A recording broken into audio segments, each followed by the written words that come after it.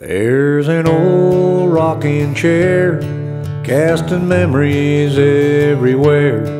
On that old home porch across from Dimple Store. You can see where the arm is all worn, where my granddaddy rested his arms. In that old rocking chair that don't rock no more. Well, if the rocking chair could read the thoughts from people's minds, what a story that it could tell time after time. Well, of the stories others never hear, and of the thought ones hold so dear. Oh, how I wished I could have read my grandpa's mind.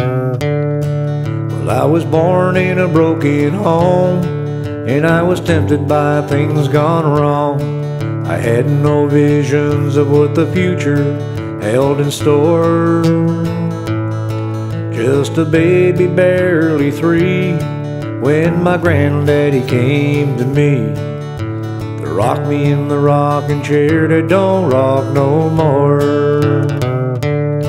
Well, if the rocking chair could read the thoughts from people's minds, what a story that it could tell time after time.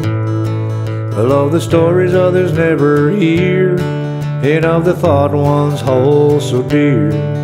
Oh, how I wished I could have read my grandpa's mind. Granddaddy lived the Christian way. Through his goodness he portrayed. He liked to sit and gather his thoughts on the hardwood porch. He'd sit for hours and rock and pay no attention to the time on the clock. As he rocked me in the rocking chair that don't rock no more. Well, if the rocking chair could read the thoughts from people's minds, what a story that it could tell time after time.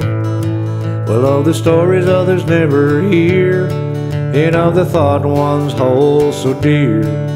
Oh, how I wished I could have read my grandpa's mind.